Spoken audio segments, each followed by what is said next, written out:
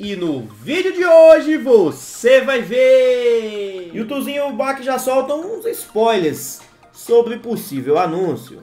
E o Gato também abriu o jogo e desabafou sobre o emulador. E disse que a loja até já deveria ter quitado, hein? Ao que indica também o ousado está de saída do fluxo e tem time misterioso com a line do fluxo mobile. Caigão também mandou a real sobre o lucro das ligas no cenário emulador, chegava a 70k doll e a premiação Michuruca. Deixa o likezão, resumo dos campeonatos, tudo isso você encontra aqui. Jornal do Frifas começou.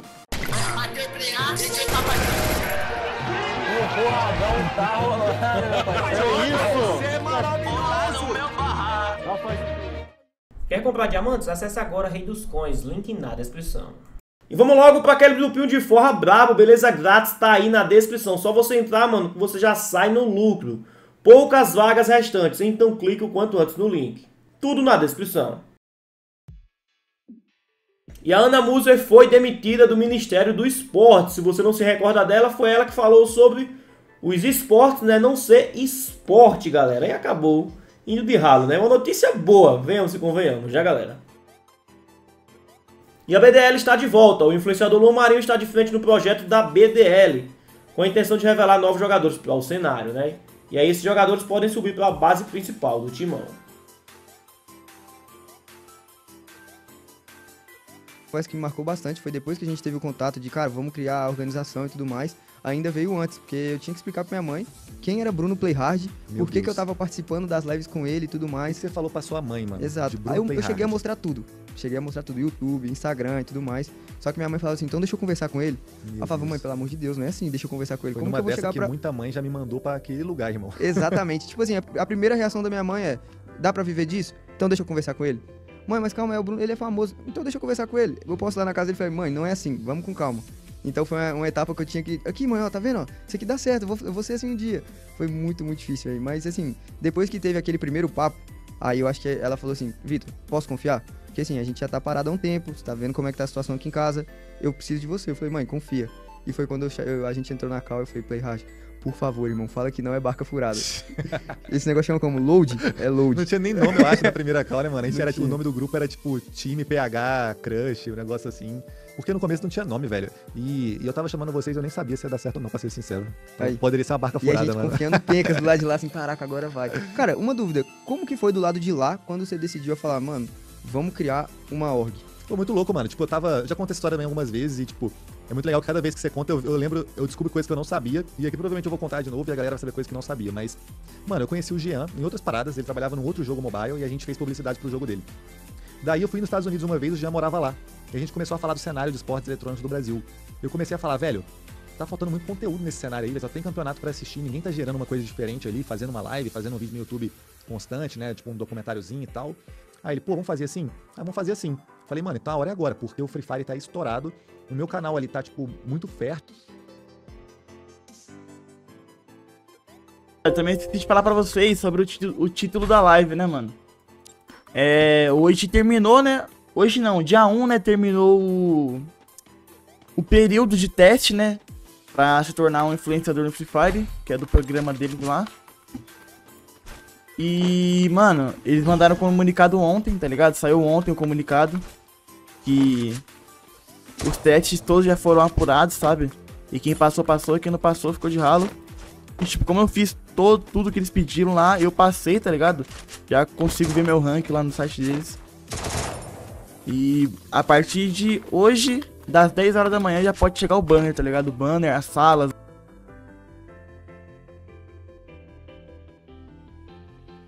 Algumas das pessoas, galera, que aplicaram golpes ali após saírem do cenário. O Gu, o Lauren, quem mais, né? O Dudu Klemp colocou ali, ó, o japonês 04. Japa 04. Quem mais, galera, né? Que triste, mano. Galera, tinha tudo, né? Futuro pela frente e acabou seguindo o caminho errado.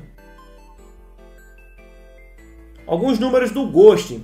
Foi top 2, né? Top 2 títulos ali, 23. Top 1 MVP, 18. E top 1 kills na NFA. É o player com mais kills em final da história. Também é o player com mais kills da história. Também é o player com mais títulos em um ano. E é o player com mais kills em MVP em um ano. Campeão e player com mais kills em presencial NFA. E simplesmente, né? É o Ghost. Mano, é tanto recorde que Não dá nem pra mensurar, velho. Bizarro. Eu...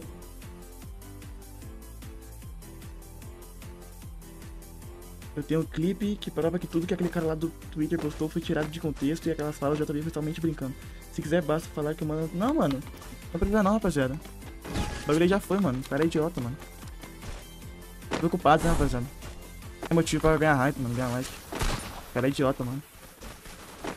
Em vez de construir uma imagem boa, não. Quer falar merda. Todo mundo me odeia, viado. Será que é porque eu, eu desmereço? Tenho muito ego. Tem muito ego, viado. Tá com o ego inflado. Nossa, tem um cara lá no Twitter lá, um PRJzinho. O cara é gente boa, Todo mas dia o cara, briga, né? Todo o dia cara briga. tá... Caralho! tá- Todo tá- dia ele briga. Tá rolando, a, tá rolando a treta dele da Amoroso. Ele faz os bagulho maneirinho, os banner, pá, e fica brigando à toa, mano. Viado, amoroso dá um sorriso, acabou pros caras. Os caras ficam brigando à toa, os caras é doidinho, velho. E eu não sei quem bota ele na minha thumb, timeline. Mano, É porque os Cara, caras ficam comentando lá, mano. Tá o cara ligado? aparece na timeline ele. toda hora. Ah, já você vai ver. Dedutivo. MFL Latam só mês que vem porque tem 10 milhões de campeonatos acontecendo, então a gente não tem agenda. Então só mês que vem, né? Infelizmente. 10 mil campeonatos, fio. E ontem também aconteceu a Talents. E a nova line do Fluxo tá quebrando, hein? Olha o perigo. Vamos pra cima dele com o meu eu, que é isso que eu tô falando. Pra cima dele tem o segundo. Scott vai conseguir volta de lobby. Vai caindo mais uma equipe ali sem dinheiro, pegando fogo. São três equipes vivas. São Paulo volta no top 4. Meu Deus, o que, que é isso? Que loucura é essa? Vitinho tá sozinho, vai voltar de lobby. Vem pro Buia, não pede mais, pulou. Meu Deus. Bem, galera, apenas o segundo dia da Talents, assim ficou a tabela. Magic Squad continua liderando, né? Isso é legal. Equipe do Mundial jogando bem. Por outro lado, a gente tinha a MBR ali, que tá em décimo, porém com seis quedas. E a Loud também estreou ontem, não foi bem, né? Apenas com 40 pontos. Enfim, galera, a atenção principal vai ser nessas três equipes que estão no Mundial, né? Claramente. Sem criticar, né? Beleza, tranquilo. A gente começa o campeonato do Lidoma, viado. Amanhã, amanhã. Amanhã, amanhã começa o Lidoma e o Idzão, o Idzão tá on, hein, rapaziada. Tropa do Idzão vai jogar, hein? O Id Revela vai jogar Lidoma, hein, meu parceiro. A granadinha lá, Wilson, no massa. Bem, galera, ontem o Borges já avisava, hein? Blaze caiu no Brasil, é o fim da renda extra. E tava lá, ó. Anatel tenta derrubar a site da Blaze após de- determinação da justiça. E aí saiu lá o ofício, ó, tudo mais. Inclusive o Daniel Penin foi o cara que fez todo aquele vídeo sobre a Blaze, né? E ele avisou ali, ó, Anatel acata a decisão da justiça para tirar o site do ar em todo o Brasil. Se não, não caiu, possivelmente vai cair, né? Então vamos ficar de olho nisso aí. Diversos streamers do Free Fire que eram do Free Fire fazem live nessa plataforma. Ontem também aconteceu algo- a Coliseu, algumas equipes já estavam classificadas, vamos ver alguns dos melhores momentos. Gil, só o Gil de pé, vamos nessa, garotinho. Marca pra cima dele, mostra quem é que manda. Deuses caindo na quarta colocação. F99 tá de pé, Gil saiu pra cima do Rafa. O Rafa devolveu pra cima do Gil. Dança, dança, que é isso, meu Não é Deus, possível, Gil? não é Você possível. tá absurdo. Marcou pra cima de mais um jogador. Tá lá o segundo, mas não deu no terceiro. Meu garoto é um maravilhoso. Ainda marcou por aqui, já temos o Rafa também dançando. Na crista. Encanta. Antissocial com dois jogadores de pé marcando. Faz um pé contra Fox, é aquele pique maravilhoso. Lucy por aqui naquela reposição da querida pau pausada engatilhada. Pode fazer a boa puxadinha do abate, uma eliminação já confirmada pela equipe da Faz o P. Ainda pode fazer, quem sabe, mais uma puxada pela confiança. Pumba, marcando pra cima da Maia, Maia colocada no chão e pode ser eliminado um pouquinho mais cedo. Vem confirmando a bate. Misterioso também tá no solo da equipe da Falcons, agora quem sofre. Falcons Game pode ser obliterado. Agora, eu acho que... Luan, quando faz aquela recuperação, eu acho que a rapaziada, tipo... Calma aí, eu posso morrer, mas tá tranquilo, tá suave. Não, com certeza, né? Traz os jogadores aí de volta e fica naquela questão do. Pelo menos a minha parte eu fiz, né? Na minha parte eu fiz. Mas vamos ver qual vai ser esse. Vai lá, vai lá, dá aquele pique, vai fazer aquela quinta sobressaída pra cima da tropa. A equipe da Oxa tentando, quem sabe, pegar essa última eliminação pra cima do DR. Eliminado, então tá lá. Décima segunda colocação. Strong, volta. Não viu um não, não viu um não. O cara achou uma balbal, viado. Que depressão da porra. Era doido. Rapaziada, valeu. Virei camisa de saudade. Tô dando tiro, tô dando tiro nele já. Joga joga pra mim, joga pra mim, irmão.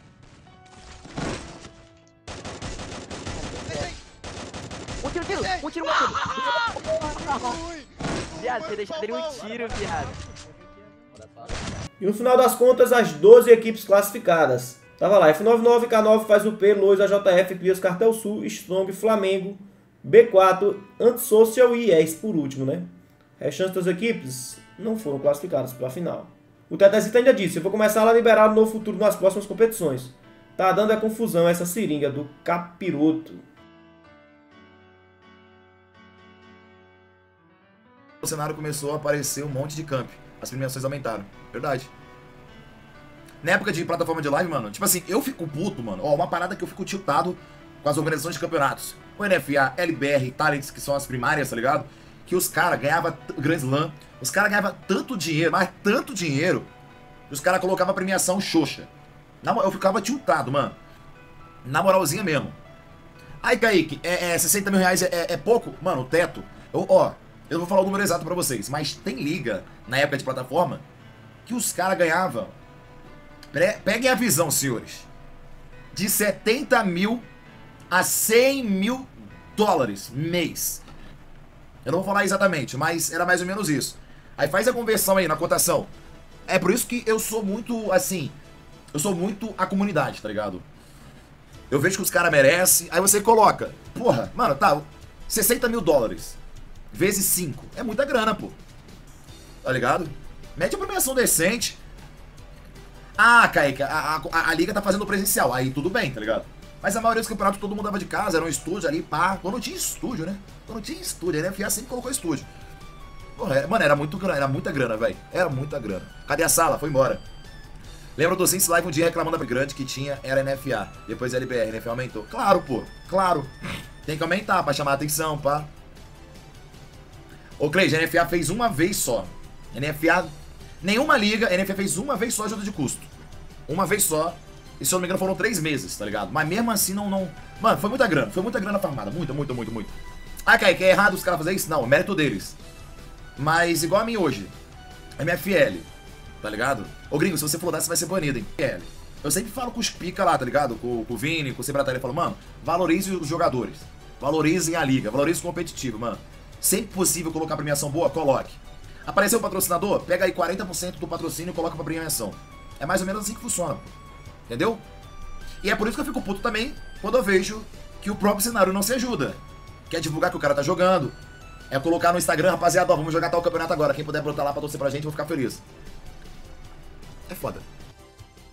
Outro torcedor trouxe um ponto bem interessante. Ó. Laudo não é gigante em função da noise, e sim em função de diversos fatores, mas o que alavancou a org foi de- definitivamente a criação de conteúdo. Porém, o engajamento da torcida hoje é gigante em função da noise, e isso é um fato. Bem, ontem também o pai do Marco já dizia, nem tudo em uma org tem que dar lucro. Sabemos que o emulador é deficitário, e não ter a modalidade faria perder quantos torcedores. Nos intervalos dos mobiles, quem traz engajamento para a org.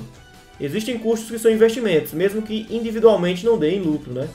Disse o pai do macro, John Vlogs comentou. Org não dá lucro, só gasto. Sempre falo e vou repetir. Então, o Jean comentou né, nessa publicação. Olha, acho que somos uma prova que isso não é verdade, mas concordo com você que não é para todo mundo. E o John disse, curto muito você, Jean, mas se Org desse dinheiro a Sentinels, não estava com crowdfunding você mesmo demitiu quantos da Loud, né? Crowdfunding é tipo uma vaquinha, né? A forma de ganhar mais dinheiro em orgs são com vendas de roupas e monetizando com a comunidade direto. No Brasil, bem difícil de vender para a galera porque uma camisa custa 300 reais. Você sim vai lucrar e muito, quando você vender a Loud para algum investidor. Não tô querendo polêmica nem, nada do tipo, só tô falando o que falei em live outro dia. E o Jean respondeu: Acompanhar o mercado em si é uma tarefa normal para qualquer empresa que está em um ecossistema de desenvolvimento. Esse seu raciocínio está bem certo para as empresas que estão seguindo o padrão não digital e e clubes de esportes. Você conhece o nosso ecossistema, que a Loud faz parte. Sabe que é mais do que apenas vender roupa. Então, ao que indica aqui, a, a Loud tem lucro, né? Conforme o Jean tá falando, galera. É porque é gigante, é muita torcida, enfim. Porém, o Pariomac finalizou com um ponto bem interessante. Independente se dá lucro ou não, alguém realmente acredita que os moleques da F99 que estavam arrebentando saíram da organização para não jogar em lugar nenhum e ficar esperando se o projeto da nós vai continuar ou não? Chega de caô, né? Esse tweet aqui fez muito, muito sentido, mano. É porque os caras saíram já sabendo que vai ter uma nova equipe para eles jogarem, né? E se a nós acabar? A nós não acaba. O Leozinho até comentou isso aqui, acaba nunca, né? E o Leozinho já foi da organização, então ele sabe de algo. Pelo menos a gente, a gente presume que sim. lucro, é, se até o PH falou que o cenário emulador dá prejuízo. Então, quais os benefícios que Nenhum. O cenário emulador não tem nenhum benefício. Não tem benefício. O benefício é acreditar no jogo, mano. É acreditar no, no game, velho. Não tem benefício, mano. O benefício. O benefício é ajudar a galera, mano. É, tá ligado? Que benefício, mano? Financeiro nenhum, mas tem uma infinidade de outros benefícios. Criar entretenimento pra galera, deixar o pessoal feliz, mas não tem. Não tem benefício nenhum. O jogo que dá lucro hoje é CS e. Ó, CS e. Rainbow Six. Vou entrar no CS, vou entrar no Rainbow Six. Vou ganhar dinheiro? Existe uma chance legal de você ganhar dinheiro. Ah, mas e outros? Hum, bota um dinheiro na mesa aí. Pode ser que no futuro vá dar. E é por isso que a gente tá nos outros cenários. Entendeu? A gente acha que vai dar, a gente acha que vai crescer. A gente acha que vai funcionar, é uma aposta.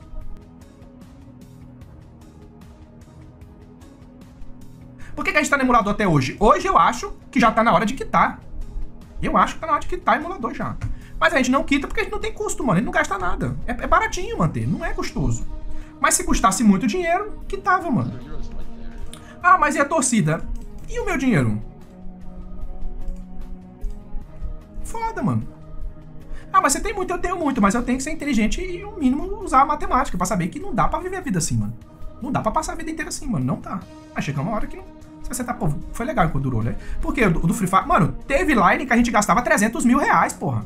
400 mil real. Line. Vamos montar uma line de 400 mil real? Lá na puta que pariu. Quanto que retornou isso? Zero reais. Zero. Voltou. Ah, voltou aqui dois centavos. Não, não voltou nada. Voltou nada. A gente investiu um milhão e meio numa GH. Pintamos, emulador, PC, os caralhos. Salário um milhão e meio. Projeto de um ano, né? Foi um, um, um milhão e meio em um ano. Quanto que esse um milhão e meio voltou? Free Fire emulador. Zero reais, mano. Zero centavo. Zero centavo. Mas a gente tava apostando que o Free Fire ia continuar crescendo, que o emulador ia ser. É, a Garena ia olhar pro emulador e falar: pô, olha que legal, que maneira emulador. Vou lançar um campeonato com premiações, a premiação é tal, e vou dar um incentivo pras orgs pagar as porra das contas. Aconteceu? Não. O que, que aconteceu? A gente perdeu dinheiro, foi chamado de mão de vaca, que a gente é filha da puta, que a gente é time sem vergonha, Los Grandes é o caralho, meu nome é Zé Pequeno e tudo isso. Ah, mas ah, você ganhou torcida e por causa da torcida a empresa patrocinou. Não, mano, as empresas patrocinavam se a gente botasse o nome na camiseta e aparecesse na transmissão. Quando é que teve um campeonato que mostrava o jogador com a camiseta? Era um, dois ou três campeonatos uma vez por ano. As empresas não se interessavam. Toda vez que patrocinava, patrocinava o time é, inteiro, assim, pra aparecer no, no, no, CS, no LoL, no coisa e tudo. Até no Valorant, a gente entrou no Valorant, entramos e botamos o pé e já quitou, mano. É de quita rápido, rápido, isso no ano passado, dois anos atrás. Aqui tá rápido. Aí, aí, se a gente tem hoje o patrocínio e o time não vai bem, ou seja, não vai pra final, não vai pra semifinal, mas a gente não consegue mostrar a camiseta. Quando que o torcedor ajuda? O torcedor ajuda o dia que ele sobe tag. A gente já fechou patrocínio por causa do torcedor que sobe tag, velho. Tô falando sério. Foi o dia que eu falei, até que enfim o torcedor ajudou, mano. Porque só tava fudendo. Foi até que enfim, mano. Nós já fechou patrocínio. Agora, foi um dos menores patrocínios. A gente já ganhou extra, tipo, ah, se bater 100 mil tags, vocês vão ganhar 50 mil reais. Já dava pra pagar as contas de 6 ou 7 dias.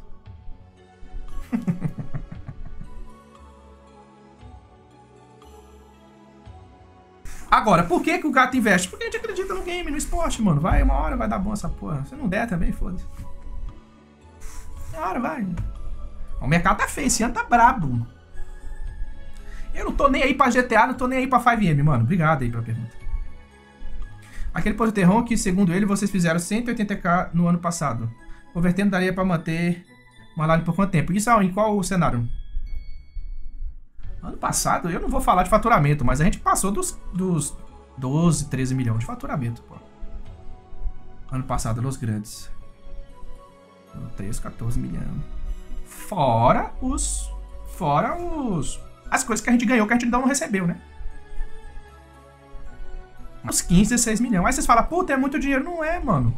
Você vai contratar o capeta do melhor jogador. É caro, meu irmão.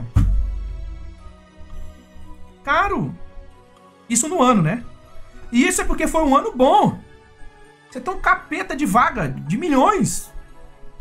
Entendeu? É salário. Só eu não recebo salário de Los Grande. Terron não recebe salário de Los Grandes. Só o Terron merecia ganhar pelo menos 35 mil de salário. Ele não ganha. O jogador, tem jogador que ganha duas, três vezes o que o Terron merecia ganhar. Ele não ganha salário. É foda. Galera, o Gato falou até um pouco mais e o vídeo eu já lancei aqui no canal. Você consegue acompanhar aqui na descrição o vídeo completo, beleza? E também na tela final. E, mano, tipo, eu. Nossa, eu perdi muito aqui ontem, tá ligado? Se falar, tipo, de questão de kill, perdi kill pra caralho, mano. Tem a parte que eu derrubei dois lá no começo da partida, perdi as duas kills. Um monte de kill que eu dei um monte de capa, os moleque matou, mas, tipo. Eu não ligo pra kill, não, tá ligado, rapaziada? Jogo pro time, mano. Eu tô triste, tipo. Não pelo meu desempenho individual, mas pelo time, tá ligado? Eu também não tô os melhores do mundo, mas, mano. O time não tá bem, tá ligado? Isso aí tá acontecendo com nós não, tá ligado, rapaziada? Não sei, rapaziada. Tá, tá foda, mano. É do nada, mano. Do Neida, do Neida, mano. É foda, mano. Tipo, competitivo é um bagulho muito... É um bagulho muito, sei lá, mano. É muito instável, tá ligado? Tem que saber lidar com, com os bagulhos.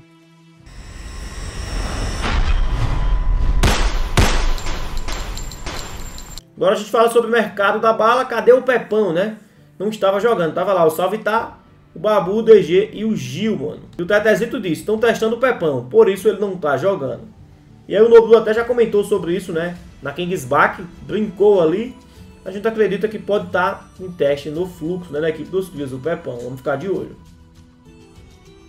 O fluxo tá lá, né? XXX misterioso, Putz Thriller, Creator e o Anreda, né? O time totalmente misterioso, mano, literalmente, né?